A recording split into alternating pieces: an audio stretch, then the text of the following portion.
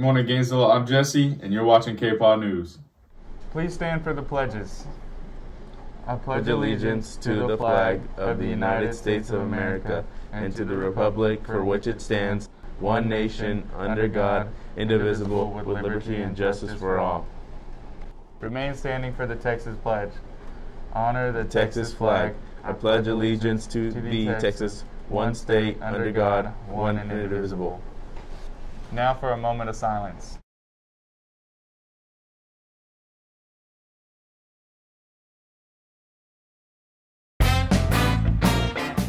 If you need a parking permit, go to the office for more information.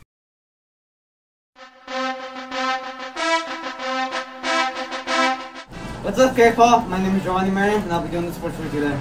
Although we don't have anything going on today, we have both the softball and baseball teams playing home games against Celina tomorrow.